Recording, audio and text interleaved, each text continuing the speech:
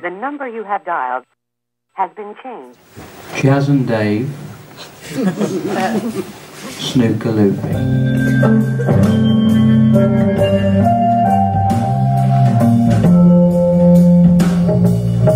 It was 5 minutes and 20 seconds in 1997 at the Crucible Theatre in Sheffield by a snooker player named Ronnie O'Sullivan. Off that gorgeous website called eBay for a total price of £206 from a guy named Sean who lives in Mansfield.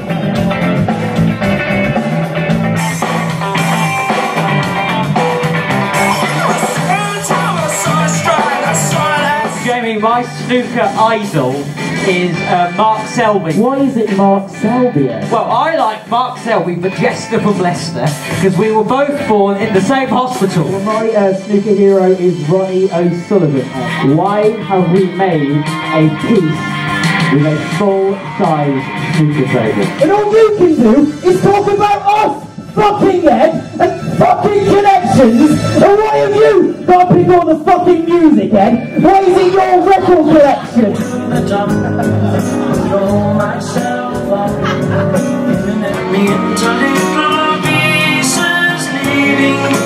Out here, you will see one, two, three, four, five, six bolts. They go straight into the slate bed itself. Two and a half months worth of creating, assembling, dismantling, blood, sweat, tears. Elvis, the King Presley,